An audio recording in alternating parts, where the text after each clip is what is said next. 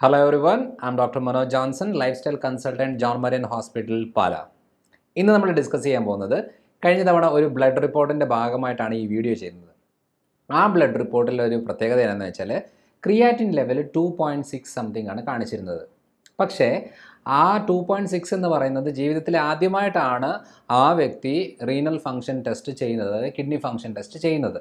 അപ്പോൾ ഇവിടെ വന്നിരുന്ന സമയത്ത് ആ, മറ്റു പ്രശ്നങ്ങളുടെ ഭാഗമായിട്ടാണ് ഈ ടെസ്റ്റ് പറഞ്ഞിരുന്നത്. അപ്പോൾ കൂടുതലായിട്ടും ട്രൈഗ്ലിസറൈഡ് കൂടുതലാണ് കൊളസ്ട്രോൾ കൂടുതലാണ് എൽ ഡി എൽ കൂടുതലാണ് അതേപോലെ പ്രമേഹം ഉണ്ടായിരുന്നു എന്നുള്ള രീതി വെച്ചുകൊണ്ട് ജസ്റ്റ് റീനൽ ഫങ്ഷൻ ടെസ്റ്റ് എങ്ങനെയുണ്ടെന്ന് അറിയാൻ വേണ്ടിയിട്ട് അതുകൂടെ ഒന്ന് ടെസ്റ്റ് ചെയ്ത് നോക്കി.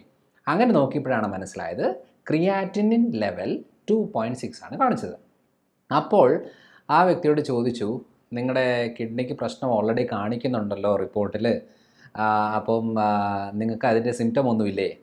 അപ്പോൾ അവർ പറഞ്ഞതെന്ന് വെച്ചാൽ സാധാരണ ഇങ്ങനെ ഒരു വൺ പോയിന്റ് ഫൈവ് ക്രോസ് ആകുമ്പോൾ തന്നെ കാലിൽ നീര് വെക്കുക മുഖം ഇടിപ്പിച്ച് വരിക വിശപ്പില്ലായ്മ ഉണ്ടാകുക യൂറിൻ ഔട്ട്പുട്ട് കുറയുക ഇതൊക്കെ കോമൺ സിംറ്റമാണ് പക്ഷേ ടു പോയിന്റ് സിക്സ് ആയിട്ട് ഇവർക്ക് യാതൊരു സിംറ്റമും ഇല്ല. അപ്പോൾ ആ പക്ഷേ എന്നാന്ന് വെച്ചാൽ സാധാരണ ഒരു നോർമൽ ലെവൽ എന്ന് പറഞ്ഞാൽ zero point six two one point two ആണ്.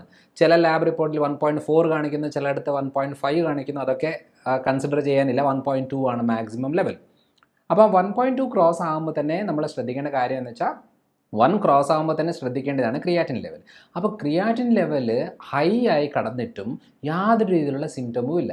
അപ്പോൾ അങ്ങനെ ഉള്ളപ്പോൾ അതിന്റെ ഭാഗമായിട്ട് ഒരു വീഡിയോ ചെയ്യണമെന്ന് ആലോചിച്ചത്. കാരണം അതൊരു കിഡ്നി റിലേറ്റഡ് പ്രോബ്ലം ഉള്ള ആളുകളുടെ ഒരു റിസൾട്ടാണ് അതെങ്ങനെയാണെന്ന് നമ്മൾ ശ്രദ്ധിക്കാൻ ശ്രദ്ധിക്കാൻ ഒരു കാരണം എന്താണെന്ന് വെച്ചാൽ ആ വ്യക്തി ഒരു ബോഡി ബിൽഡറായിരുന്നു മുപ്പത് മുപ്പത്തൊന്ന് വയസ്സേ ഉള്ളൂ.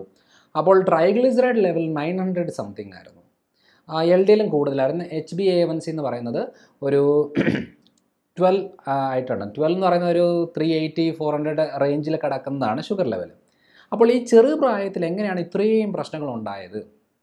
അപ്പോൾ എന്തുകൊണ്ടാണ് ക്രിയാറ്റിൻ ലെവൽ ഇത്രയും പ്രശ്നമായിട്ട് കാണിച്ചത്? പക്ഷേ സിംറ്റം ഒന്നും ഇല്ല എന്നുള്ളതാണ് ഞാൻ നമ്മളിന്ന് ഡിസ്കസ് ചെയ്യുന്നത്. അപ്പോൾ ഇതുമായിട്ട് ബന്ധപ്പെട്ട് അതായത് ഷുഗർ ഉള്ളവരോ ട്രൈഗ്ലിസറൈഡ് കൊളസ്ട്രോളോ ആയിട്ട് പ്രശ്നമുള്ള ആളുകൾ നിർബന്ധമായിട്ടും കിഡ്നി ഫങ്ഷൻ ടെസ്റ്റ് ചെയ്യണം. അതായത് യൂരിയ യൂറിക് ആസിഡ് അതേപോലെ തന്നെ ക്രിയാറ്റിനിൻ ലെവൽ അപ്പോൾ സോഡിയം പൊട്ടാഷ്യം ആ ഇലക്ട്രോലൈറ്റ് റിലേറ്റഡ് ഉണ്ട്. എന്നാലും നിർബന്ധമായിട്ടും ക്രിയാറ്റിൻ ലെവൽ നോക്കണം. അപ്പോൾ സാധാരണ ക്രിയാറ്റിൻ ലെവൽ നോർമലിൽ നിന്ന് കുറച്ച് കൂടുതലാകുമ്പോൾ തന്നെ കിഡ്നിക്കുള്ള അത് പ്രോട്ടീന്റെ അളവ് കാര്യങ്ങളൊക്കെ കുറയ്ക്കേണ്ടി വരും എന്നുള്ളതൊക്കെയാണ് സാധാരണ ഉള്ളത്. പക്ഷേ ക്രിയാറ്റിനിൻ എന്ന് ഉദ്ദേശിക്കുന്നത് ഒരു ആ ഒറ്റ ഒരു റിപ്പോർട്ട് കൊണ്ട് നമുക്ക് കിഡ്നി ഫെയില്യൂർ ആണെന്നോ അല്ലെങ്കിൽ കിഡ്നിയുടെ ഫങ്ഷൻ മോശമാണെന്നോ ഒന്നും പറയാൻ പറ്റത്തില്ല. കാരണം ഒരു ബോഡി ബിൽഡറിനെ സംബന്ധിച്ച് ഒരു മസിൽസിന് കൂടുതൽ വർക്കൗട്ട് ചെയ്യുന്ന ആളെ സംബന്ധിച്ച് ക്രിയാറ്റിൻ ലെവൽ കുറച്ച് കൂടുതൽ വരും. എന്തായാലും നോർമലിന് വല്ലാതെ കൂടുതൽ ഈ ടു പോയിന്റ് സിക്സ് ഒന്നും വരത്തില്ല. അത് മോശമായ ഒരു രീതിയാണ്. പക്ഷേ ഈ ക്രിയാറ്റിൻ ഉദ്ദേശിക്കുന്നത് ക്രിയാറ്റിൻ എന്ന് ഉദ്ദേശിക്കുന്നത് നമ്മുടെ മസിൽ ഫോം ചെയ്യാനായിട്ട് ആവശ്യമുള്ള ഒരു വസ്തുവാണ്. അതാണ് ക്രിയാറ്റിൻ. അപ്പോൾ അതിന്റെ ഭാഗമായിട്ട് മസിലിന്റെ ഡെവലപ്മെന്റ് മസിലിന്റെ മൂവ്മെന്റ് കാര്യങ്ങളൊക്കെ വരുന്നതനുസരിച്ച് അതിന്റെ ആഫ്റ്റർ എഫക്റ്റ് ആയിട്ട് വരുന്ന ഒരു വേസ്റ്റ് പ്രൊഡക്റ്റ് രീതിയിലാണ് ക്രിയാറ്റിനിൻ എന്ന് വരുന്നത്. ഈ ക്രിയാറ്റിന്റെ അളവ് ബ്ലഡിൽ ഒരു വൺ പോയിന്റ് ടു അതേപോലെ point six two one point two റേഞ്ചിൽ ബോഡി മെയിന്റെയിൻ ചെയ്യും. അപ്പോൾ കിഡ്നിക്ക് കൂടുതൽ ഹെവി ഡോസ് ആയിട്ട് ബുദ്ധിമുട്ടുണ്ടാകുന്ന സമയത്ത് ഈ വൺ പോയിന്റ് ടു ഇന്ന് ക്രോസ് ആയി പോകും.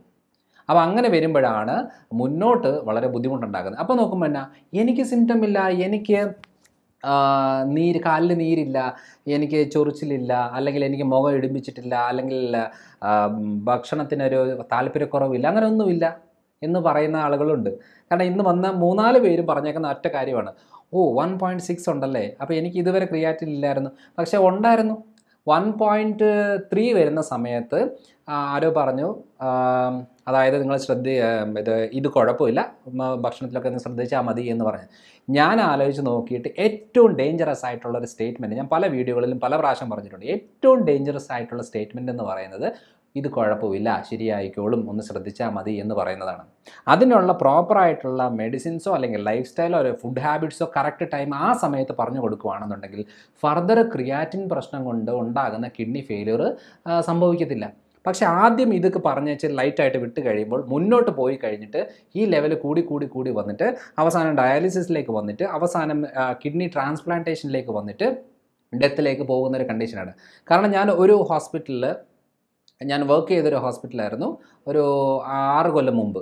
ആ ഹോസ്പിറ്റലിൽ പതിനാറ് കിഡ്നി ഡയാലിസിസിനെ റെക്കമെൻഡ് ചെയ്ത പേഷ്യൻസ് ഉണ്ടായിരുന്നു. അപ്പം നോക്കി ട്രീറ്റ് ചെയ്തതിനകത്ത് ഒരു ഫോർ ക്രിയാറ്റിൻ ലെവൽ ഫോർ വരെയുള്ള ആളുകളെ നമുക്ക് തിരിച്ച് ലൈഫിലേക്ക് കൊണ്ടുവരാൻ സാധിച്ചിട്ടുണ്ട്. പക്ഷേ ഫോറൊക്കെ ക്രോസ് ആയി കഴിഞ്ഞിട്ട് സിക്സ്റ്റീനും തേർട്ടിയും ഒക്കെ ആയ ആൾക്കാരുണ്ടായിരുന്നു. അപ്പോൾ അവരെ നമ്മൾ എന്തൊക്കെ നോക്കിയിട്ട് പിന്നെ ഡയാലിസിസ് ചെയ്താൽ കിഡ്നി ട്രാൻസ്പ്ലാന്റ് കിഡ്നി ട്രാൻസ്പ്ലാന്റ് ചെയ്തിട്ട് മൂന്ന് കൊല്ലത്തിൽ കൂടുതൽ ജീവിച്ച ആൾക്കാർ വളരെ കുറവാണ്. സോ അതുകൊണ്ട് നമ്മൾ ആദ്യം തന്നെ ഇതൊക്കെ പ്രിക്കോഷൻ എടുത്ത് ചെയ്യുന്നതാണ് നല്ലത്. അതുകൊണ്ട് നമ്മളൊരു ബ്ലഡ് ടെസ്റ്റ് ചെയ്യുന്ന സമയത്ത് ക്രിയാറ്റിൻ ലെവൽ വൺ ക്രോസ് ആകുന്നു എന്ന് പറയുമ്പോൾ തന്നെ ആ സമയത്ത് തന്നെ നമ്മൾ ശ്രദ്ധിക്കേണ്ടതാണ്. അപ്പോൾ ഈ ഇടയ്ക്ക് ഒരു മരണം സംഭവിച്ചു. ഒരു ബോളിവുഡ് താരം കീറ്റോ ഡയറ്റൊക്കെ ഫോളോ ചെയ്തു എന്ന് പറഞ്ഞേച്ച് അതിന്റെ ഭാഗമായിട്ട് കിഡ്നി ഫെയിലിയർ ഉണ്ടായിട്ട് മരണം സംഭവിച്ചു എന്നുള്ളൊരു ന്യൂസ് വന്നു. അപ്പം എന്താണ് കീറ്റോ ഡയറ്റ് ഇപ്പോൾ കീറ്റോ ഡയറ്റ് എന്ന് പറയുന്നതും ക്രിയാറ്റിനുമായിട്ട് എന്താ ബന്ധം?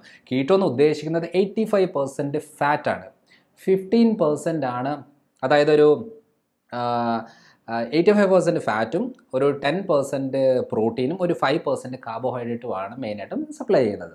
അപ്പോൾ ഈ അളവിൽ നമ്മൾ ഒരു ഇതൊരു ട്രീറ്റ്മെന്റ് ഭാഗം അല്ലാതെ നോർമൽ ഒരു ഡയറ്റ് അല്ല. നമ്മൾ സാധാരണ മനുഷ്യർ എടുക്കേണ്ട ഒരു ഡയറ്റ് അല്ല കീറ്റോ ഡയറ്റ് അപ്പോൾ അങ്ങനെ വരുന്ന സമയത്ത് എന്താണ് കാര്യം? അപ്പോൾ അങ്ങനെ ഉള്ളപ്പോൾ ആർക്കാണ് ഇങ്ങനത്തെ ഡയറ്റ് ഫോളോ ചെയ്യേണ്ടത്? അപ്പോൾ ക്രിയാറ്റിൻ ലെവൽ ഇതിന് മുമ്പ് ചെക്ക് ചെയ്യണം. ഇതിന് മുമ്പ് ചെക്ക് ചെയ്യുന്ന സമയത്ത് എത്രയുണ്ടെന്നുള്ളത് അറിയണം.